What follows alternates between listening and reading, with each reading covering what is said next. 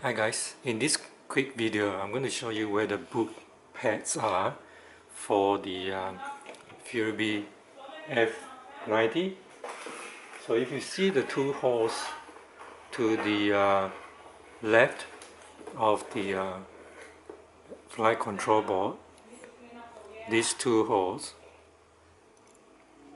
this is the boot pads. So what you do is basically you use a tweezer you just connect this or jump these two pads together and then you at the same time you connect your quad to the computer using your USB cable.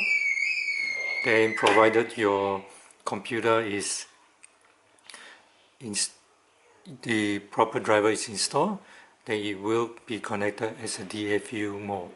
So then you can reflash this flight control board with new version of Betaflight so just let me do this a bit closer so that you can see. So this is the front of the quad. It is these two holes. You just need to use a tweezer and just do that. And that's it.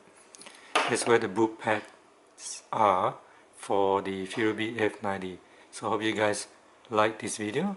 Please like and subscribe to my channel for more videos until next time cheers